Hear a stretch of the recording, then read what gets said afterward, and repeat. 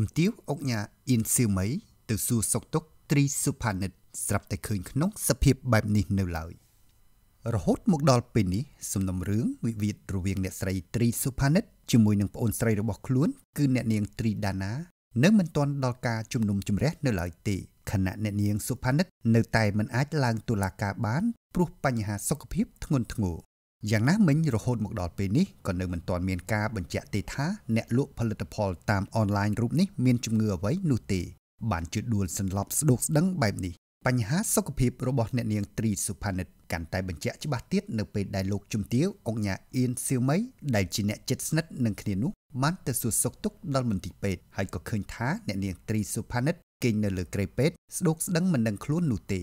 ដោយសារតែក្តុកក្តួលពេកអង្គញាអៀនសៀវមីបានបង្ហោះសារមួយថាប្អូនមកមើលសៅរហូតប្អូនឈឺតែប្អូនដើរបាន តែសៅឈឺដើរអត់បានគេងនៅលើក្រេរហូតលើសពីអាណិតណាស់សៅ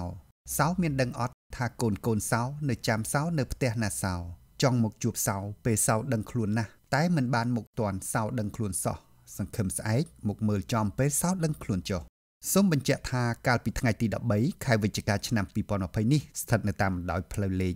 182ក្នុងសង្កាត់ទឹកល្អ2ខណ្ឌទួលគោករាជធានីភ្នំពេញមានការផ្ទះផ្អើលជាខ្លាំងក្រោយពីអ្នកលក់ផលិតផលអនឡាញម្នាក់ឈ្មោះត្រីសុផានិតអាយុ39ឆ្នាំត្រូវបានកងកម្លាំងនគរបាលនាយកដ្ឋានព្រំប្រទានក្រសួងមហាផ្ទៃធ្វើការចាប់ខ្លួនឈ្មោះត្រីសុផានិតត្រូវបានចោទប្រកាន់ពីបទបរិហាគេជាសាធារណៈ ញុះញង់ឲ្យមានការរើសអើងនិងអំពើនៃការប្រកួតប្រជែងមិនស្មោះត្រង់ប្រព្រឹត្តទៅនៅរាជធានីភ្នំពេញកាលពីឆ្នាំ2018រហូតដល់ឆ្នាំ2020នេះបើតាមដីកាបង្គាប់ឲ្យចាប់ខ្លួនរបស់កម្លាំងនគរបាលនៃក្រសួងមហាផ្ទៃ